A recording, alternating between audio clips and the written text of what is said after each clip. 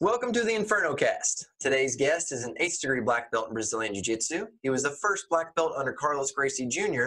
and was a fierce competitor that went over eight years without a loss. But you might also recognize him from training Hollywood talent for movies. Please welcome Rigan Machado. How are you doing today, sir? I'm doing amazing. Talk to you now. I'm super happy. hey, I'm I'm glad you spent time with me. Um, you know, we kind of briefly chatted of we kind of have some connections of you know your brother carlos has just been a, a great friend and mentor for me for so long and uh, you know bob bass who's one of your close friends and students his brother actually spent some time with me and trained here where i'm at at my gym so it's kind of one of those typical where, in the where, industry where you locate? Where you uh, in arkansas. Yeah in arkansas. Arkansas? Okay. Yeah so brian he was up here for work or something and he's like yeah my brother's bob bass and i was thought what like the Bob Bass, you know, just small world, you know. So yes, yes, Bob Bass is my best friend. I know Bob. I met Bob Bass. He used to be a wrestler, and yeah. he and his brother Joey. And I remember uh, he's uh, we start training in the garage, and he's a great athlete. It was very easy for him because the background for wrestling. He fall in love with jiu-jitsu very fast and yeah. Bob Bass, I believe, was the first black belt in Brazilian Jiu-Jitsu in the United States. Oh, really? Yeah. We talked yeah. about all that whenever we kind of did our episode, but it, he's such a humble man. You know, he's just such yes. a good guy. It's hard to get him to kind of tell all the stories and yes. all the details because yeah. he, he, was just so humble. Mm-hmm. So I wanted to, I wanted to kind of go back to when you were a kid because you were raised in this environment of jujitsu and martial arts and kind of that warrior spirit. When you were coming up as a kid, did you recognize what you were a part of, or did it just feel normal? Like this is what kids do. We just train every day. Uh, I have four brothers who rough me up all the time. We and I have my cousin who rough me up too. I have to to get tough naturally because you're surrounded by boys all the time who like to play and fight all the time. Uh, my relationship started in early age because uh, my mother's sister married the, the Carlos Gracie, the founder of the sport of jiu-jitsu. Carlos Gracie was very close to my mother. Like he, he have this amazing relationship. Carlos Gracie was uh, her mentor, almost like uh, her older brother who advised. And, and growing up, um, I was very close to Carlos Gracie. Uh, we have uh, from early age he liked me a lot, and I remember I have some issue of uh, uh, asthma. And Carlos Gracie was a nutritionist, a doctor, and and basically he invited me to live with him, to move to from the country to the big city because he wanted to take care of my health. My and the first thing when I moved to Carlos Gracie house, we start practice jiu-jitsu right away. I remember the beginning, I trained under two brothers, uh, Hollis Gracie and Carlson Gracie. They used to have a school together. I remember Hollis Gracie have schools. This in Copacabana, in Rio de Janeiro. Have, uh, he teaches jiu-jitsu Monday, Wednesdays, and Friday. And Carlson Gracie teach uh, Tuesday, Thursdays, and Saturdays morning. And but because I was very young, uh, Gracie have a big group of kids. Uh, I kind of mix it up. I want to train every day. I go to Carlson Gracie. I go to Hollis Gracie.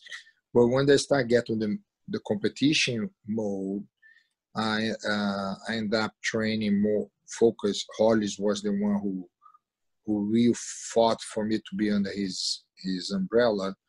And Hollis Gracie have um, uh, a brother named Carlos Gracie Jr., uh, which at the time he was like almost his right hand person at the academy.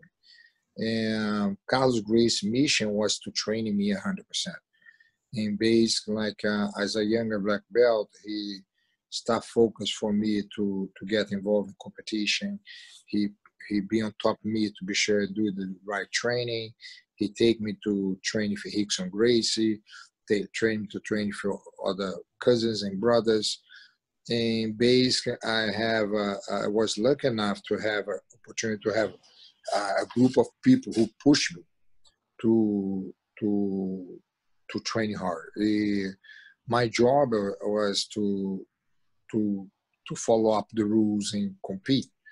And for me, it was very natural. I never um, felt like he forced. I never felt like uh, uh, I just love it. I just um, I love to go to war. I love to have rivals. I love to feel the adrenaline. I love to go to a battle on the mat and have the pleasure to have the victory. That pleasure was what I was addicted.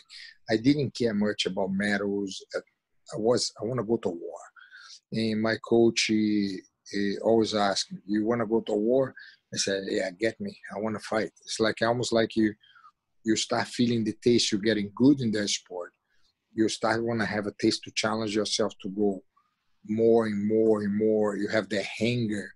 You're young. you're starving for sparring. And basically, I have some of the best sparring.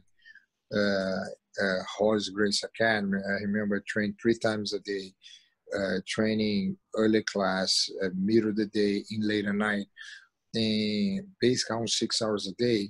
And any chance I have, a workout, a swim, and lift weights, or do whatever I can to try get uh, myself as a as a better, stronger, faster, more gas on the tank. And I remember when the, the competition was the easy part. When you go to the competition, uh, I have the strong confidence because you spend so much hours training, and I almost have 40 spars a day. Yeah, hard spar. When you go to a competition, you know in your mind the other guy, no way he have better spar, or no way he put more time on the mat, no way he have a better teaching. Uh, in basically, I felt above uh, 80% of the guys that go to war. But I, I, I, I didn't care about the 80%, I care about the 20%. my goal was to, to find the guys, uh, another pit bull who I look across the mat and he look in my eye and say, I will beat you up. I said, let's go. Let's go to war. It's not much even about winning or lose. It's about to go to war, to go to the battle, to go to to the gladiators environment yeah. which uh, give you the pleasure I have was the winning and who give me the happiness, the excitement of accomplishment. And um, I felt very lucky to have the environment and the great teachers I have during my career, who I believe without them, uh, I don't think uh, I've been in love with the sport like I am. And I'm very lucky because this sport open opportunities to be here in America, opportunities to keep in contact with my brothers. Because what's amazing about Brazilian Jiu-Jitsu, you have brothers any place you go around the world. I remember in some place in Africa, somebody recognized me. And he said, hey, I have academy, want to come and train my brother. It's almost like, that's so cool. You know what I mean? I mean, here in Africa, in Kenya, he have this guy who called me brother. He wanted me to go to his academy to train. The sport have this power of a friendship who is very addictive, very interesting because open opportunities to you go to any place in the world in the communication to through the sport is fantastic. Uh, that's why. I love to travel to do seminars. I'm very addicted to that. Well, you've mentioned three things that I, I, think are extremely intriguing, and I'll cover the first one. So you mentioned you had asthma as a child. Yeah, I have two issues growing up. I have a problem with asthma, and I have a problem with dyslexia. Hmm. Uh, the, the, problem I have dyslexia. I have uh, I have a problem to speak. I have some words I couldn't sp- speak uh, the sound of R in Portuguese, I use the L to substitute the R. It's like yeah. the sound uh, for me was a little bit different. And when some, some words I have a, a problem of pronunciation. The second problem I have is dyslexia. when they try read, uh, instead go straight the line, this, the line start going curved down, and I start reading one line, and pretty soon I drop two lines to three lines. It was very hard for me as a child to understand. Uh, uh, I couldn't do well in reading or anything who needed reading because I couldn't go, I couldn't understand why I couldn't go a straight line. I do anything well, but that was a big problem. Whenever, is yes, I was just going to say, when you were dealing with that, were they struggling identifying what the problem was? Because I know yeah, but I'm gonna tell, I'm gonna tell you what helped me, who blow me, you're gonna blow your mind. When they went to to a specific school, uh, the the they explained to me different exercise for me to understand how to focus the line. The one the, the one the things we start to explore is to read loud, to exercise my listening. And I start read loud, I start little by little control the line. The second thing is to use my hands to write, uh, uh write and help the memorization. And basically realize through that method, I start learned how to read better. Uh, my grades went up, and but uh, sometimes for me, I still have problems to memorize names. Like I remember one time, uh, one of my students, uh, uh, his name is Bob. Yeah, been calling him uh, Peter for two years. But sometimes is is he come to me, hey professor, my name is Bob, and and but sometimes the dyslexia issue I have was sometimes the name I have to repeat hundreds of times to memorize. And based the way I figured out how to be good in jiu-jitsu, I realized uh, I have to do repetition. A lot of people say like, let's go to spar, and and we improve by sparring, which is 80% or almost 90% of the math of jiu-jitsu.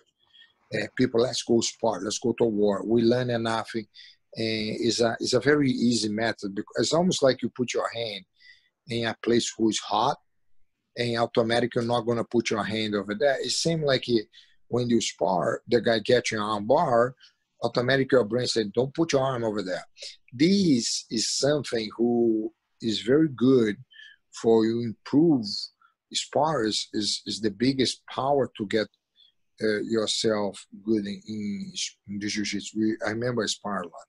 But for me, uh, one of the, the things will help me a lot, I repeat techniques thousands of times. I repeat so much, uh, uh my body, that techniques come a part of me in a way. And basically, I do that repetition a lot, a lot, a lot, thousand, thousand, thousand times. When they spar, and I go to sparring, my game flows stronger because. I drew so much the techniques.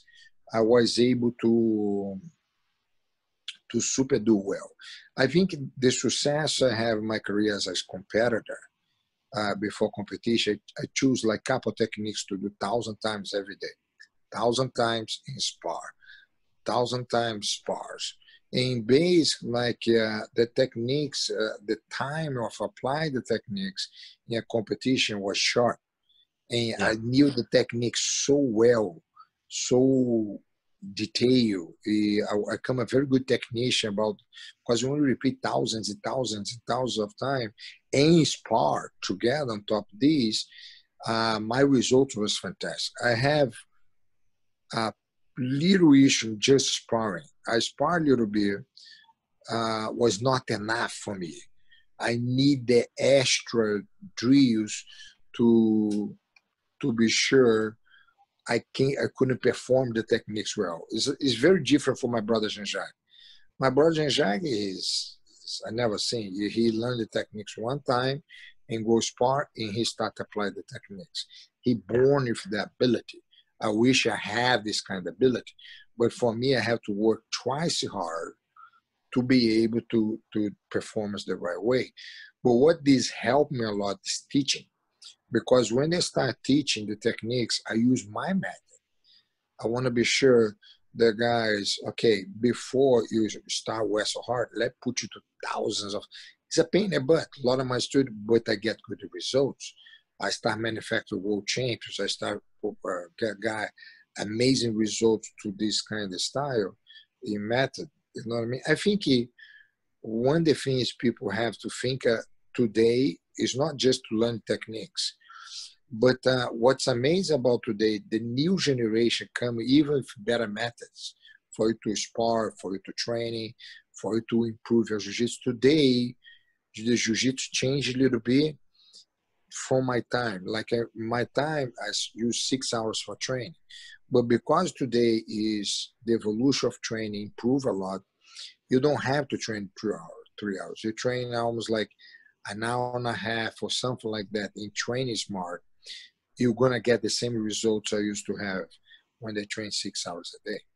yeah, it's you know I've heard it talked about with immersion training and focus training, and it's almost like what you're talking about is the hybrid where you get both. You're immersed in high level yes. technique, but it's also extremely focused training because exactly. the evolution of the sport, people understand yes. and comprehend jujitsu at such a better yes. level and your partners do as well. So I agree. 100%. I think that really connects the dot. So the interesting point about what you mentioned on dyslexia and, and overcoming asthma, it goes to my second question was you mentioned you love going to war, you love the competition. Do you feel like that passion and that love for the competition came from struggling as a child because you know you, you couldn't read very well, you struggled no, speaking? I, no, I don't think so. I think the pro the, the, the thing whatever you do in life is is about passion and love what you do. I love what I do. Nobody, uh, I was not strong at all. You know what I mean? Uh, for me, it was uh, I, I love to be on the mat. I have this passion uh, to be in the environment. I think that was the success uh, to spend six hours a day on the mat without be forced. I love it. And I think that for me is the secret I had for spend six hours to improve my, my jiu-jitsu. I think the moment, whatever you do in life, you put your love behind, the, you, it's gonna be, you're gonna be, I remember I was taught to a friend to, to me, you love jiu-jitsu, jiu-jitsu is gonna love you back. That means you're gonna get good results. But you don't do just because you want to be tough or this or whatever. Do because you love. You know what I mean? Have fun, enjoy, be around your friends on the mat. You know what I mean? I think that kind, the energy is amazing. Yeah, and and then my last thing is you talked about this brotherhood connection that jiu-jitsu has across the world which you and your family can take a lot of responsibility of creating that uh, across the planet because you guys came to the US and, and, and spread this and, and we'll kind of get to that story. But when you talked about the brotherhood and the connection of the family, what is it that you think brings people together with jujitsu that is different than other sports or other types of athletics? What seems to make jujitsu so unique? Uh, jiu-jitsu have unique, uh, I think every martial arts have this brotherhood, this friendship, all these the same basic things. But for some reason uh, jiu-jitsu is very i don't know why because you grapple the guy you connect yourself more energize with them in some level i don't know. When you grapple somebody you come with your brother you know what i mean you go to the chess match and stuff like that is is the coolest thing you can have a relationship between two guys sparring. And the chess game is amazing. I think it, these help a lot. You come closer to people you train every day um, to practice, and you come your partner in training. It's almost like I was explaining to to people like the the feeling you have when you you have your club or you're part of a club um, is almost like extension of your own family it's like you have your house, your family, blah, blah, blah. And when you go to the academy, it's your second home. You have your friends, you have your partners in training. Is uh, is amazing environment. Uh, it's funny because growing up, I have these guys I grew up training. I still in contact with them today. Even they retire and this and that. Is there the relationship you create you're never gonna forget. Do you think that you know, because jujitsu you can't hide. You know, like there's there's truth on the mats. When you go train and you roll, it's truth. You, you can't hide. There's no facade. You perform or you don't perform do you think that maybe that truth that has to be shown in that environment. And like you said it's their second home where people feel almost safe to be there and to show almost let people in almost where it's just like here i you know i can't pretend to be important. I can't pretend to be tough or i can't pretend to be an athlete. I have to be authentic to who i really am because it shows when we train. Do you feel like that kind of allows people to connect on a deeper level because they can't conceal who they really are? I think in general, martial arts connect people, sport connect people. I think uh, jiu-jitsu is another sport who have a different way to connect people too. But I believe um, what I love about what I do, you what I love to be a part is how change people for be a better person, how change people health wise, how change people, you know what I mean, to have a stress release when it comes to training. Is is is amazing to see how much by seeing to be people come to that kind of how they change is uh, something I never seen in anything else. It's, it's so amazing a good instructor, a good teacher who come to the academy help these people to come not just a martial artist, but a better father, a better friend, a better husband, a better principles, a better health. Is is so much uh, the academy can offer for for the person to be in the environment, which is a very addictive health environment. You know yeah. I mean?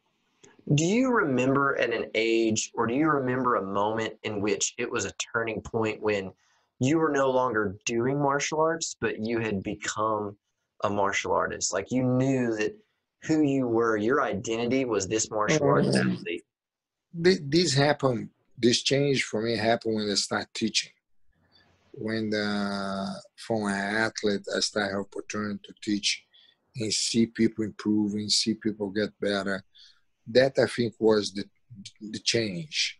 Is is is is very interesting how um, when you you from practice to become a teacher is a completely 180 change because you start having the feeling to help other people. That I think was a amazing time for me when I start teaching. I fall in love. I was an athlete and fall in love for teaching, and that for me was amazing. I've heard teachers talk about the feeling they got from helping somebody change their life and how that feeling almost became more valuable than winning matches, you know, becoming the champion. Was there a student or a story that that happened to you where you were just in shock at how this was affecting you on an emotional level?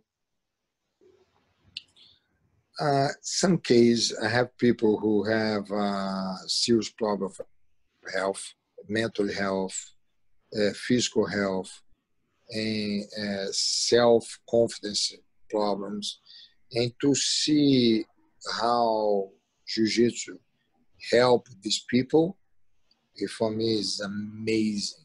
That's what I feel glad to be involved in something so positive to other human beings. You know? Yeah, it brings them together and and like you said, it just it transforms people into a, a better version of themselves, or at least gives them an yes. outlet to do so. I agree. I agree with you a thousand percent. When you look back as a competitor, you know when you were out there, the tournaments, trying to win.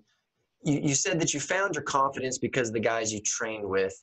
When you were executing at the high levels, when you were performing and beating the best and, and seeking out that 20%, was there a part of the mental sharpness that was more about knowing what you were capable of versus trying to remember techniques? You know, like what was your performance ritual to be on point? Yeah, the only thing for me, my reaction uh, before I think it started happening like when come close to the competition, probably like the first four days or maybe five days. Uh, when the reactions happen for me, I get very quiet. The, the second reaction, I start happening. I didn't want to talk to to people much. I want to be more alone. And I want to refocus and concentrate the adrenaline energy for the on the step to fight. And like the day of the competition, my reaction, my hands start sweat and my mouth gets super dry and my legs for some reason shake. Like uh, almost look like a feeling I'm afraid or something. But uh, by fighting for so many times, I realized how the adrenaline work on me. when my legs shake, I was happy. Oh shit, I'm ready. You know what I mean? You you get to that position. Let's go. Let's go to war. You get excited. The adrenaline, the the hands dry, the mouth dry, the legs shaking. Say, man, let's go. I'm ready. In that kind of feeling uh, is the, the reactions. Uh, I get. I knew exact every inch about how I feel before uh, a competition. So a very high level of self awareness whenever you. Do. Yes, the adrenaline in your body is amazing. Uh, when you understand what it is, is amazing. You know what I mean? Uh, I understand every inch how I feel before I step in. What I love about the adrenaline, the adrenaline give me the extra sharp. I was my eye was open. I'm very sharp for everything I do for don't do mistake. The problem sometimes when you overconfidence yourself in adrenaline is not there. That's when they did some my mistakes to fight somebody who's not good and I didn't take serious. Yeah, have a lesson because they maybe score a point or maybe they score counter takedown and stuff like that. For me, like, oh shit. You know what I mean? That's a good to wake up on the middle of the fight and yeah. uh, and go from there it's, it's like you hear um, you know sometimes mma fighters they're like oh the fight starts when i get hit in the face and it's almost like what you're talking about is they almost have to snap out of it so that they can be on point the adrenaline comes out and, and they're sharp when, when you think back to your competitive career what was one of your favorite fights win or lose just one of your favorites uh, it was like you took so I much think uh, i think i have so many but i like the one for Rickson that was amazing because to fight your own cousin, which at the time was one of the best guys, and go to a war with the best guy on the business. And I was very young at the time. I, I just got my black belt. I was 18 years old when I fought him. And for me, was a big lesson of strategy.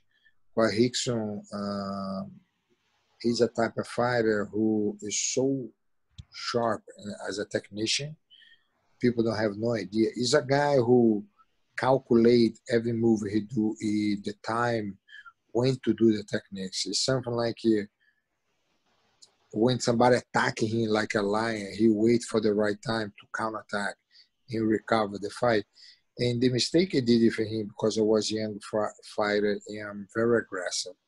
I start very aggressive. He was survived all my attacks. When he start coming in back when he come after me, he was fresh and he have a lot of gas and my gas was low and I couldn't follow his speed and he was fantastic. That's that was the lesson to fight somebody who's more experienced, somebody who have more hours on the mat in competition. And these spins like I never forget. After fought Rickson, that that fight improved my jiu-jitsu, I believe 30, 40% for better. And that's what's about. You have to learn from every fight. Winning or lose, you come back home, do your homework, get better, you back in competition. And that was uh, the fights very special for me. But I have so many fights. It's kind of hard because I have so many wars I went through. It's not fair to tell like which one is the best. It's like every competition end up bump heads with some tough guy. And but uh, I think the Hicks one was a very special for me. Yeah. Well, when you came to America, one, how did you up and decide you're going to go to another country? And then two, uh, how how was the impact when you got here, realizing that there was no comprehension of jujitsu or ground game at all? Uh, for me, it was exciting because in a different country, America, for me, is the, the best country in the world. Uh, it's the most organized country, the most unique, opportunist place on the planet. Today, I'm so happy. I feel so blessed to be living here, to be a part of this wonderful country. Uh, I think uh, challenge. I always want to challenge myself to know what I'm made from. You know what I mean? I, my father used to, to tell challenge is almost like you write your own book. And base America was a big challenge for me. Was something I was very excited to see how far I can get in this journey to in this unique country who give you all the opportunities for you accomplish anything you want. And for me, I'm so happy today to live in this wonderful country. I love my country more than anything, but I believe the opportunities I have here in this wonderful country is amazing. I think USA is one of the best countries in the world. I've heard it said that sometimes people they can look at countries like parents. It's okay to have two, and you can love them both. Yes. Um, Which is different. It's almost like uh, because people in Brazil is is 180 different. It's almost like uh, when you go eat, you have different food. Uh, and I think uh, both have amazing flavors. Uh, I'm very happy to have opportunity to have both. I like that. I like that a lot. So when you came to America, how was it much culture shock was it just very different or was it yes kind of was uh was uh amazing uh, show difference you know what i mean is um it's very interesting uh, uh, america is is so unique uh, places like california new york some of these major states the variety of countries the quantity of countries uh, when you go to some place like chinatown is like almost like it's so entertaining, so uh, unbelievable fast compared to other countries. Like things over here happen so fast. You have one idea, you put some work, pretty soon you have a business. I said, man, this in my country take like 10 years to be done. Over here did in two months. How? Is it's, it's amazing. That, this kind of the, the shock uh, how things function uh, is unbelievable. It's, uh, it's, so my country is more like a slow motion. It's getting better, but it's not as much fast like United States. I think United States is, is, is one of the best places for business uh, in the world for me. So when we moved to Hollywood, how did you get involved with that, the movie, TV show scene? How, how did this come about? I think it was uh, Chuck Norris in the beginning.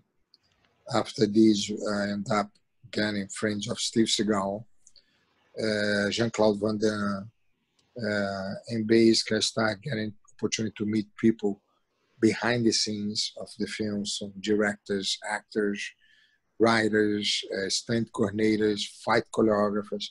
And little by little, uh, you start a little bit, because I love Hollywood, I love movies, I love uh, to see people perform in front, in front the camera. And it's like a Disneyland. You, every movie you watch, you bring you to a world who is so unique. But one of the things uh, who who I love about you have opportunity to meet people in front of the camera and behind the camera and to see the human side of uh, these celebrities. And little by little, start working with these people. You start have opportunity to work in, uh, behind the cameras. Some movies are working from the cameras. And these, you start have a comprehension what Hollywood is. And for me, I'm addicted. I love the industry.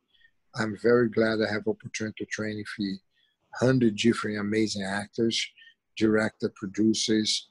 And a little by little now, I did my second move as a stunt coordinator. I want to keep going. I want to see how far I can go in the industry. But uh, I love the industry. Hollywood for me is like a, a passion, a pleasure, something like uh, I have a great time doing. You know? Yeah, my friend Jack Nevels, he's a fight uh, choreographer too, usually for like military firearms. Uh, like they had him on Terminator. I think he did something with maybe oh, John Wick for a minute. He's done a few, and something he mentioned that was very unique that I feel like you're hinting at is he talked about how Hollywood is amazing because it attracts excellence out of people. He's like everybody that shows up to do a film is usually the most excellent in their specific field, whether it be lighting, makeup, choreography, acting. And he said when you have that many people together that just carry a high standard and mm, believe in just absolute performing at their best, he said it creates something special. Would, would you feel like you've been in that environment or you've noticed that, or how has that affected you? Yeah, I think everything you have to understand what it is. For me, I still doing my baby steps. I think I got I got bigger comprehension about the industry, about action. I have opportunity to work in a company called 8711, who for me is the best company action film in the world today. But I have a chance to meet a lot of amazing other people from the industry who do action films. And to understand the steps to do an action film, what's behind the scene to to get like a movie like Fast and Furious or Marvel films, what's behind the scene is something amazing. Thousands of people work behind the scenes to get this move for two hours for people to watch. That for me is like, wow, this is unbelievable. It's amazing to see, to be a part of uh, this amazing journey in fantasy, in imagination, to be involved in this amazing industry. Do you feel like your creativity from jujitsu is part of what you enjoy of the Hollywood life because it's like a creative expression? No, I think Hollywood opened doors because a lot of the friends I got from this industry, they come as student first. Like guys like Ashton Kutcher, uh, we come friends today. I love the guy. Uh, guys like Charlie Hunnam, this Sons of Anarchy, uh, Joel Kinnaman, Robocop, uh, Suicide Squad, you know what I mean? Uh, Scott Eastwood, who training at Baja Gracie in San Diego, who's a purple belt, amazing guy. Friend of Francesca uh, Eastwood, and guys like uh, Toby Kebbell, who did a RocknRolla. What a great guy. He, a variety of people who've been going through the academy. Uh, like one of my really good friend today, Frankie Grillo, have a TV show about MMA right now on Netflix, Kingdom. This guy is the coolest guy alive. He's a phenomenal boxer. He's a guy who is the real deal. He's an amazing actor, amazing producer. Uh, it's amazing to when you get to know some of these amazing guys, like directors, like I come friend of Mel Gibson, who for me is my hero. Uh, I have opportunity to meet Stallone, uh, Arnold Schwarzenegger, uh, Clint Eastwood. I've come friends of Oliver Stone, and for me is so amazing uh, to get to know these people as an artist. It's almost like you talk to Picasso, you know what I mean? You talk to these guys, Oscar winner directors. Like uh, I was talking to, have the opportunity to talk to Mel Gibson about Braveheart. For me, it was amazing. I watched that movie hundreds and hundreds of times and have opportunity to, to talk to the director and for me, talking about that movie, that is amazing experience. And to be involved in this industry through Jiu-Jitsu, have opportunity to train all these amazing people is amazing. Uh, I feel like uh, Hollywood is another environment who little by little uh, I love. I love the environment. I love to see the movie. I love to go to the red carpet. I love to go to after party. Always enjoy to talk to these artists who do amazing movies to entertainment us.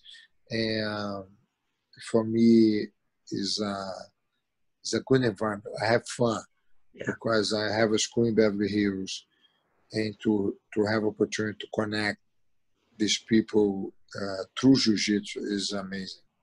It's almost like you have this artistic expression of creativity when you're on the mat. Yeah. And when you're around people that do the same thing with film and art and you know and writing stories, it's just it's very similar. And I've noticed that with people that, that deal with Hollywood. When you're dealing with people that are highly successful individuals, you know, like some of your friends, people that you train as students, do you see a different level of performance out of them on the mats because they perform at such high levels in other they, aspects they, of their life? You have two type of Rigan Machado. Have one who outside the mat is your friend, is easygoing, have fun, but have the coach Rigan Machado.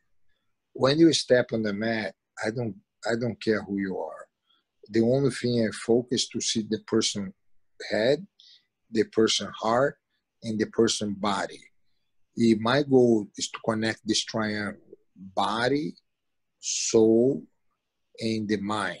I have just to con, con, connect three through jiu-jitsu. He will be an amazing person because all three is connected. He basically the tools I have from jiu-jitsu to have a chance to push them to get this connection it, it is a lot of change of to be humble a change to be focused, a change for confidence, change to improve their health is amazing because the moment you see them as a human being and they train on the mat, that's how we're going to get good results. It's almost like to be a good teacher, you have to have a good student.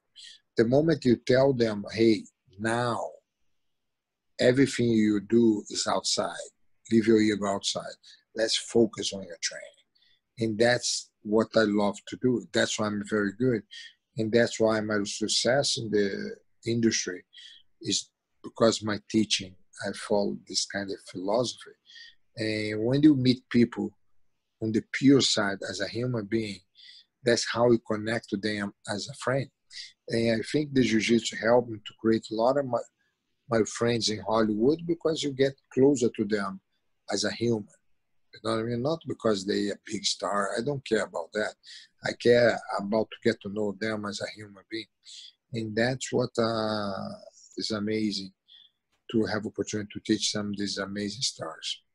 Yeah, I, you know, and I was talking to a friend of mine who's an actor, and we were kind of discussing that because I was saying that you know you enjoy working with people sometimes at that level because it's not because they're famous or they you know they've done this movie or they're well off it's because their level of performance and their work ethic has gotten them that far that whenever they become a jiu-jitsu student they treat it the same. They work just as hard. Whatever you ask they do and they do more. They come prepared. They are just so bought in.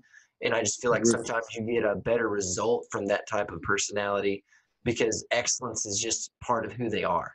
And and they come out and they just achieve and they perform and they do well especially when you demand a lot of them do you think that you're demanding excellence in a lot of people has helped the relationships? Uh, you have to have a, a sense i call the sense. The sense you have to know where to push the line. You have to be careful to don't overdo or over push the line. You have to get the sensibility uh, as a instructor to understand when to push. Because sometimes you don't want to overdo it and they get too tired or overdo they get scared or you have to have to play the line. And sometimes a good instructor this come by experience and time. When example in my case i have opportunity to train close to over 10,000 people. I did over uh, 730 seminars in over 100 countries in the last uh, 36 years.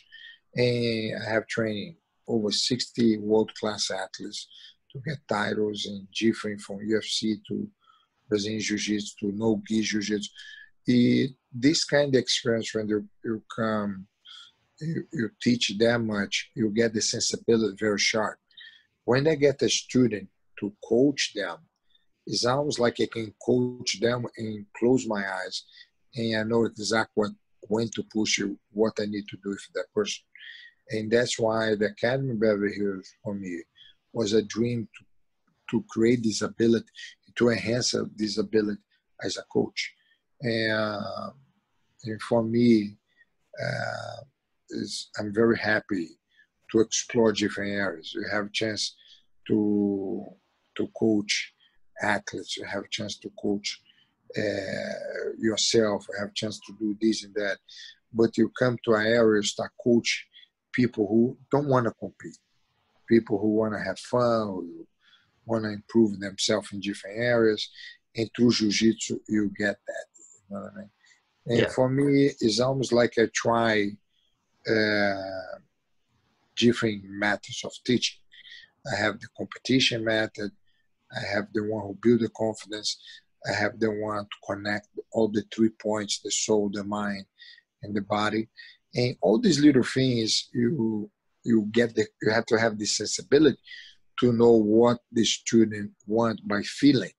And I'm become very sharp on that. That's why I've been very lucky to have all these clientels and, and yeah. keep have more clientels coming, more opportunities happen. Yeah. Well, I have two final questions. The first yes. one is who are your major influences and coaches and what did they really teach you about life? Um, the number one was my father.